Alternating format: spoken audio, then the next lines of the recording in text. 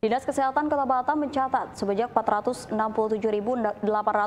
warga Batam telah menjalani vaksinasi COVID-19 dosis ketiga atau booster terhitung hingga tanggal 10 Agustus 2022. Guna mendukung pemerintah Kota Batam dalam mensukseskan vaksinasi COVID-19 serta menekan angka kasus positif, masyarakat yang belum melakukan vaksinasi dihimbau untuk segera melakukan vaksinasi baik dosis 1, 2, serta booster.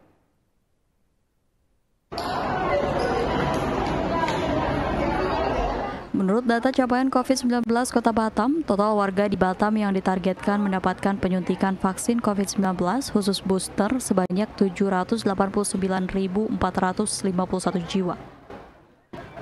Dari total tersebut, sebanyak 59,26 persen warga Batam sudah mendapatkan vaksinasi COVID-19 dosis 3 tersebut.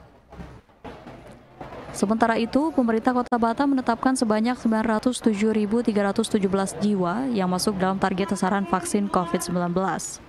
Dari total tersebut, sebanyak 957.164 jiwa atau 105,49 persen sudah mendapatkan vaksinasi COVID-19 dosis 1 dan sebanyak 846.787 jiwa atau 93,33 persen sudah mendapatkan vaksinasi COVID-19 dosis 2.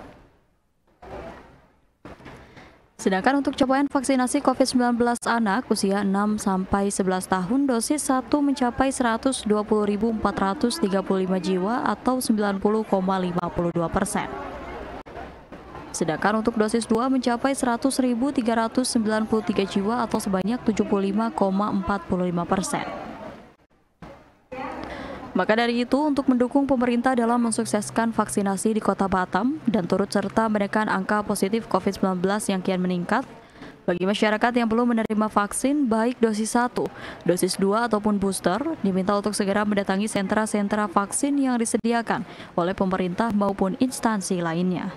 Demikian Rizka Arsinta melaporkan dari Batam.